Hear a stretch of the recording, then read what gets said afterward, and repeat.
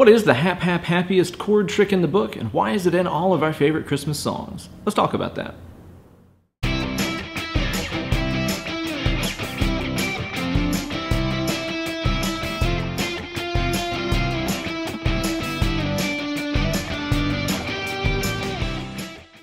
Well, hey there, Christmas kiddos. It's your good buddy, Uncle Ben. I am myself a bit of a Christmas music junkie, and it seems like about every year around this time, I find myself learning a whole new slew of Christmas tunes to entertain my friends and family and get my ass back on the nice list. So here recently, as I was going through and learning a bunch of Christmas songs from yesteryear and more recent history, I noticed that just about all of them contained the exact same chord cadence in various degrees of harmonic complexity, and it just made me so gosh darn jolly I knew I had to share it with you guys this Christmas. So on today's lesson I'm going to show you guys what the super cool secret chord cadence is, give you a little bit of the basic theory and harmony behind it and talk about why it works the way it does, as well as show you where you have heard this in some of your favorite Crimbus songs in increasingly more complex scenarios. And as always, tabs and charts for this lesson are available over on my Instagram page at Ben Eller Guitars. Just search for hashtag WeekendWankShop258, find all the material, and follow along. If you like this lesson and want to say thanks by means of stuffing my stocking with silver and gold, you can do that by supporting my channel over on my Patreon page patreon.com slash benellerguitars. But of course, I would be a very naughty uncle if I didn't give you guys something back to say thanks, so that's why over on the Patreon page you can find downloadable charts, tabs, backing tracks, and a slew of bonus lessons. All kinds of good stuff is available to everybody over there, even if you're just at the $1 level. So be sure to click the Patreon link in the video description, check out that page, and start reaping the benefits today.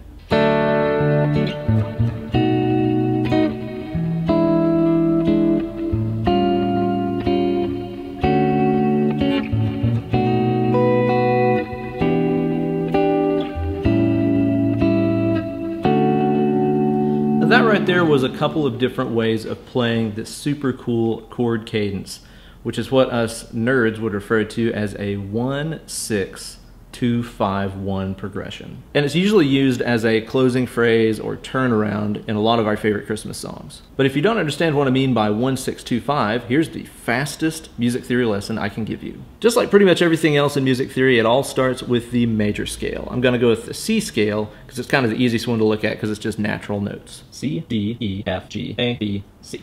If this doesn't make any sense to you, I recommend you check out my This Is Why You Suck at Guitar, You Don't Understand the Major Scale video. It's got everything you need. In a major scale, we have seven notes that all can be turned into chords. You typically see these written out in Roman numeral fashion like this. C is the 1, D is the 2, and so on. You can take the individual notes of this scale and turn them into chords with a really easy trick. So what happens is that you have a note like your C right here, the note that lives two doors down from it. So your C note and your E note.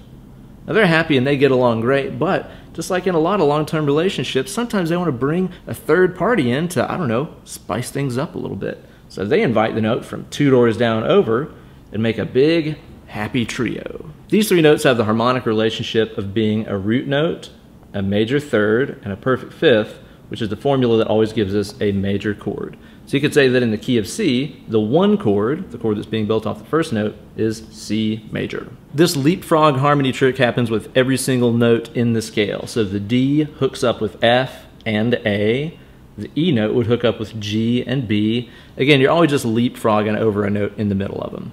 If we take those single notes and leapfrog them all out into forming basic chord triads, we'd end up with something like this. Our one chord develops as a major, our two and three are both minors, our four chord is major, our five chord is major, our six chord is minor, and the seven chord is a weird old diminished chord.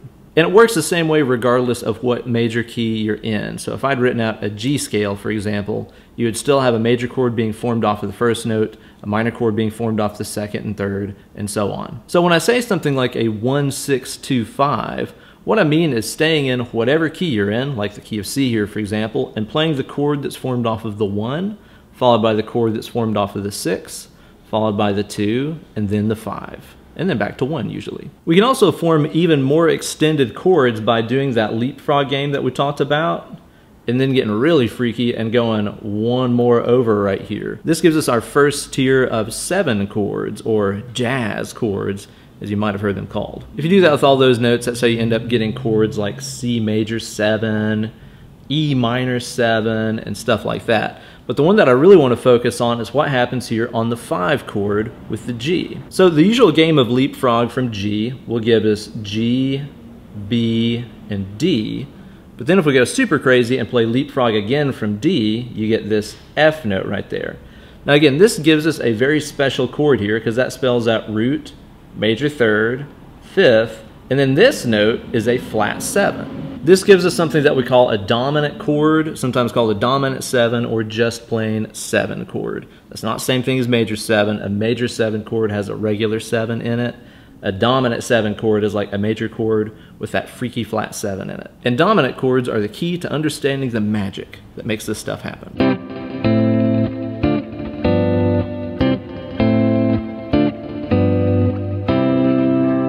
That right there is the first example that I want to talk about that uses this magical 16251 chord progression. That's a little excerpt from the intro or verse section to Sleigh Bells by the Ronettes, which is a song that was on the Phil Spector Christmas album that came out like a million years ago. And if you don't know who Phil Spector is, he's definitely on the naughty list. This chord progression is a perfect example of what I was talking about. It starts off on the one chord, C major, it goes to the chord that's formed off of the 6, A minor. It goes to the chord next that's formed off of the 2, D minor. And then it goes to the 5 chord in its extended dominant form, the G7 chord. C major, A minor, D minor, G7. Now, the magic of dominant chords is that they are what I would like to refer to as setup chords. Whenever we play a dominant chord in most songs, we're setting up what's about to happen next. And the way a dominant chord almost always resolves, and I'm not going to say always because only a Sith deals in absolutes, is with a concept that I like to call the fourth fall. This fourth fall concept is really easy to understand, especially if you just look down at the fretboard of your instrument and watch what's happening with the bass notes. So in that song, we had a dominant chord happening right here on G, right? Now, almost all the time, whenever you hear a dominant chord happening, your ears want it to resolve to a chord whose bass note is right here. So just the next string down, same fret if you want to look at it that way. If you have a dominant chord happening here, odds are it's going to be moving to here for the next chord. So you can see in that particular example how your dominant chord on G led you all the way back around to home base, the one chord, C major.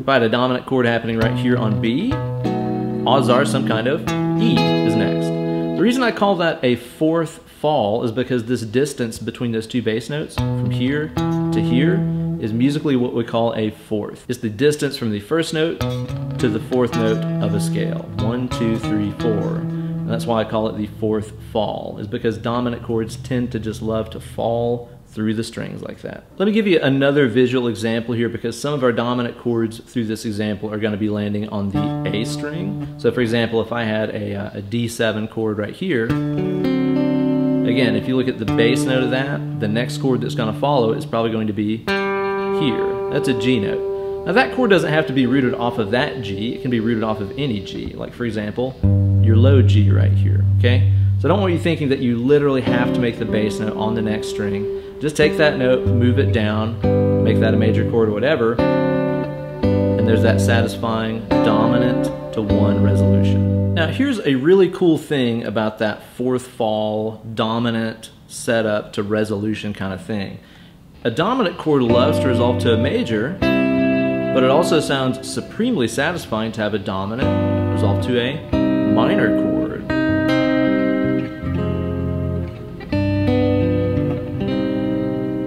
Again, a dominant just wants to go here. It doesn't matter if it's major or minor. Either way, we love that sound. Now, I want to point out that that dominant chord is kind of a sliding door that can either open up to a major chord a fourth away or a minor chord a fourth away, because it's going to help you understand what's going on in the next couple of 1, 6, 2, 5, 1 progressions that we're going to talk about that are going to get a little bit more complicated.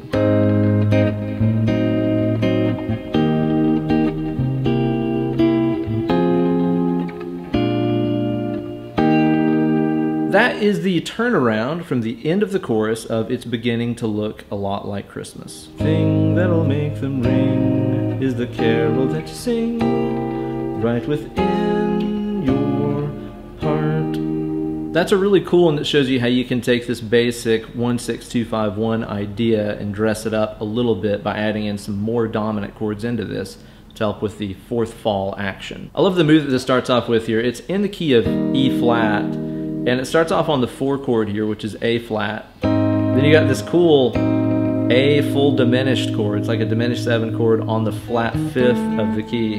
I'm telling you, a lot of these old school Christmas songs have more diminished chords than like an Necrophagist album. It's crazy. So you got four chord, which is major, this sneaky little diminished chord here on the flat five, and then check this move out. You go to the one, E flat. Next we go to the six. Again, this is the start of a one, six, two, five.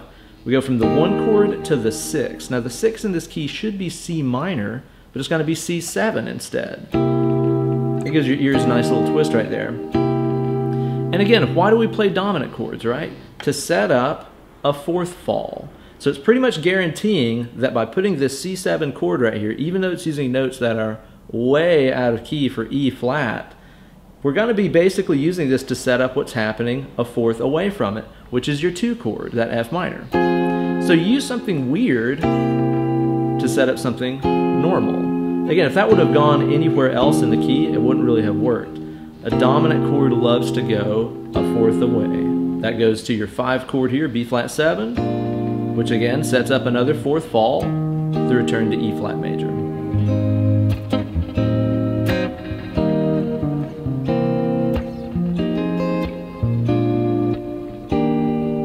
That exact same set of chord moves of going from the one chord to a dominant on the six, which sets up the two chord, which goes to a dominant on the five, which sets up the one, can be found in the old school Hawaiian classic Mele Kalikimaka, which is a Christmas song that makes me think about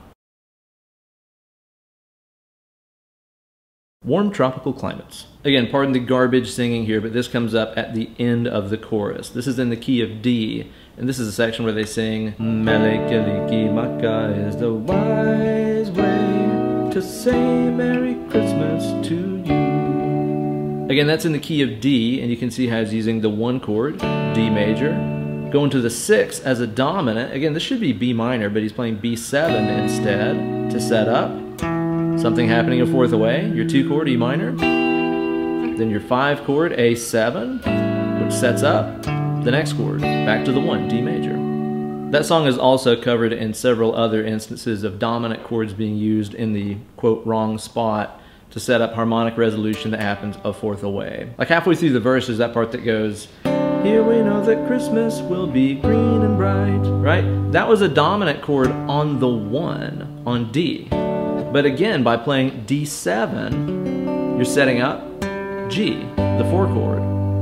After this, it goes to B7 again. Again, what do you think that's for? It's to set up something happening here on E next, which in this case is a dominant. Again, it's not supposed to go there, that's a two position, but it sets up something that happens here on A, which is the actual real dominant chord, right? A7, which takes you all the way back to one. Again, that was a weird one. Dominant chord here sets up this. Dominant chord here sets up this, which that's a dominant chord, so it set up that, which is a dominant chord, so it set up that. Again, this is really cool, complicated chord stuff going on in these tunes. They just seem like innocent little Christmas songs, and they are, but they're taking a lot from the jazz vocabulary that was a regular part of pop music in this time. Now that series of dominant chords that we saw in that turnaround where we had a dominant on the six, which led to a dominant on the two, which led to a dominant on the five, again just falling, dominant here leads to dominant here, leads to dominant here, leads to here, in this case resolution on the one chord.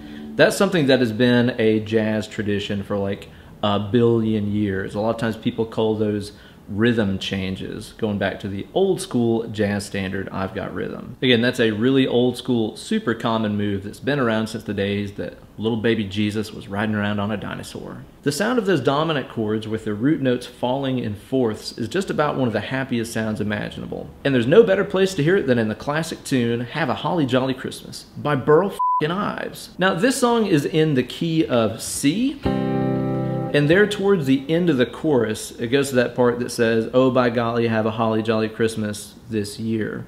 It starts us off here on the five chord on G. Again, one, two, three, four, five. Turn that into a chord, you get a G. Now check out what happens here.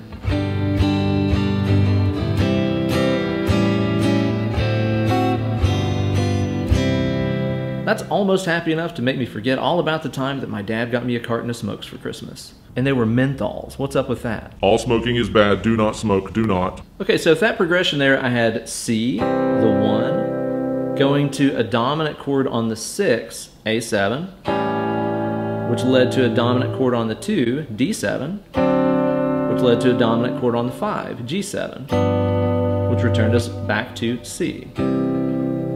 Now this chain of fourth falls is really easy to see, especially if you put the bass notes right here going through the bottom strings. So we started off in C, then we put a dominant chord right here on A, because it's dominant, it led you around to right here, D. You made that a dominant chord, that's gonna lead you here to G. You made that a dominant chord, so it's gonna lead you here to C.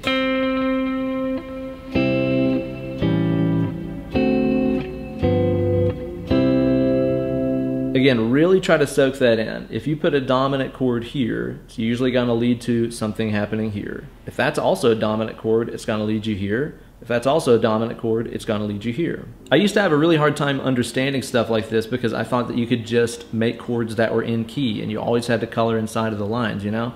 But ultimately, at the end of the day, harmony is a lot more flexible than I think a lot of guitar players think it is. Again, stick a dominant chord pretty much anywhere. As long as you go here next, it's probably fine. So as we've gone through this lesson, we've seen the 1-6-2-5-1 progression. Start off with Humble Roots in that Ronette song, which is all diatonic.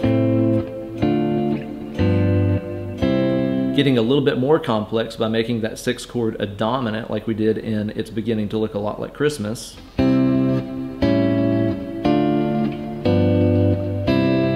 Even more complex by making that 2 dominant as well, like we saw in Holly Jolly Christmas. And now I want to give you guys an example of this same idea but taken into an even more complex form in the immortal Christmas classic by Mimi herself.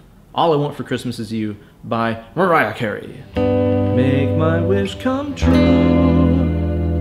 All I want for Christmas. Excuse me oh, oh, oh, oh, is you. Nailed it. Okay, so again, this is a 16251 in the key of G, but they're making it even more complicated with the use of what we call alterations. So it starts off here on G, the one chord, and then like the others, it's going to go to the sixth chord as a dominant, which would mean an E7 chord. But unlike the other examples, this isn't just an E7. This is an E7 flat 9 chord. Now that is a spicy Christmas amita ball. Basically, in a nutshell, dominant chords provide the tension that you want to hear resolve back to the one chord, again with that fourth fall kind of action. But we can make those dominant chords sound even more tense, and our ear wants them to resolve even more by making what we call alterations to them. And these alterations are the ugliest notes in the known universe, so it's really uncomfortable just to sit on top of them for a while. You want to hear that dominant chord move back to home base even more whenever we use them instead of just a regular dominant chord. Now that all might sound really complicated, but if you know the Jimi Hendrix chord, the Purple Haze verse chord, you already know an altered chord. Altered chords happen whenever we start off with a dominant chord, and then we add in any or all of these notes. The flat 9, the sharp 9, the flat 5, or the sharp 5. Again, here's G7 to C. Here's G7 sharp 5 to C. Hear how that note, that E flat note in there, you just really want to hear that pull up to become the E note that's in the C chord. You're a train, we get it. I'm a train. Here's a G7 with a flat 5. It's a D flat note. And listen how that resolves to the C note that's in the 1 chord even better. So in the All I Want for Christmas Is You turnaround, what we got here is the 1 chord, G, going to the 6 chord here, which we're going to play as a dominant, with a flat 9 interval. So this is E7 flat 9. Now again, this makes us really want to hear that resolution fourth away to A minor 7, the 2 chord. And then we're going to go here to the 5, the D7, but it's not just D7, it's D7 flat 9 again, just like the same shape used up here, which makes that return to G even more satisfying. So if you plan these moves out, not only can you insert dominant chords in seemingly random places, you can make them sound even more hip and tense by making them altered dominant chords on top of it.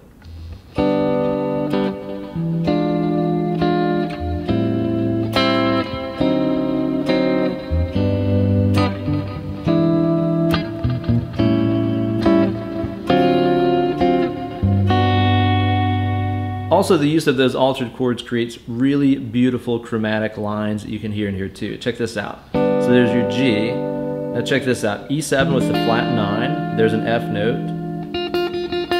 A minor 7. There's an E note.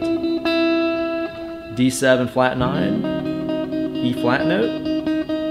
Going back to the D note that's in the G chord.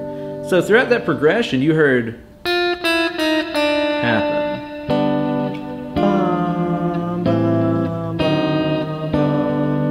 Those chromatic lines are not available if you're just staying completely in key and playing diatonic. These altered chords open up all kinds of super hip chromatic pathways through the coolest chord progressions. Now, if you want to hear all of those tricks on display, as well as a bunch of other really neat things, you should check out the tune Please Come Home for Christmas. Honestly, I should probably just do like an entire breakdown of all the cool chord stuff happening in that song. It's got all this dominance falling in fourths, like we talked about, in really rapid succession. It's got a really quick six to five, back to the one thing in there where like they're all dominants.